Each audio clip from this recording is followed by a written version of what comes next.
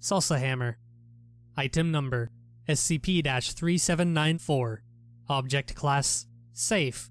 Special Containment Procedures SCP 3794 is kept within a standard item locker. Testing is currently suspended. Description SCP 3794 is a sledgehammer that converts living tissue to pico de gallo salsa when swung with sufficient force. This salsa is not significantly different from ordinary salsas in composition, nutritional value, or taste.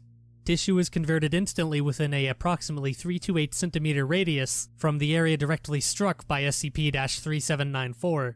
Converted salsa does not adhere to the subject and slides out of the resulting depression or hole in the subject's body.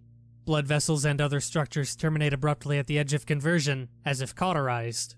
If salsa conversion causes a portion of the body to become detached, this portion will retain life functions as long as the subject does. Addendum SCP 3794 was used on test subject Skull, resulting in conversion of entire brain and majority of skull to salsa. Despite this, the subject continued to move frantically before crudely writing, Help, using the spilled salsa. Consumption of the salsa resulted in the death of the subject within 30 minutes.